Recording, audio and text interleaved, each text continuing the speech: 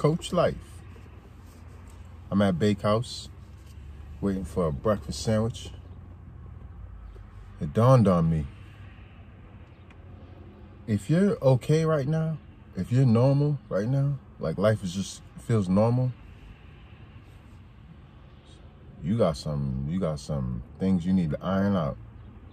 Let me tell you. Not that we all don't, but if you feel like, oh yeah.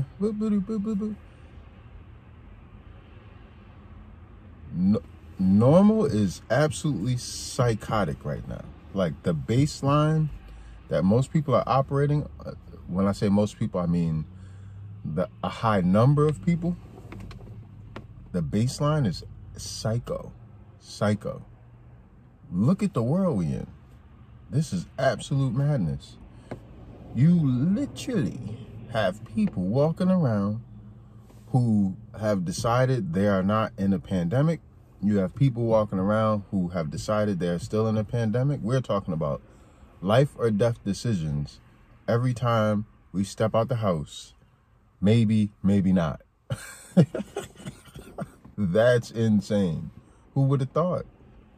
That's like being a, a, a gunman and leaving the house like, ah, should I bring my strap?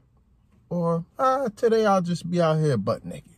Like I'll get clapped. Like, whew, wild time. So yeah, if you yesterday was so energetically, it was I was just deplete. I was so tired. I was like, what is going on? What's wrong with me? And I had to remember, hello, ain't nothing wrong with you, my boy.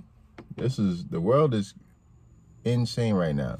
So I'm gonna make this one extra short because I want more people to feel like they can engage with the content comfortably. All right. Oh, one of those beautiful yellow birds. Oh man, I think it's called the yellow cardinal.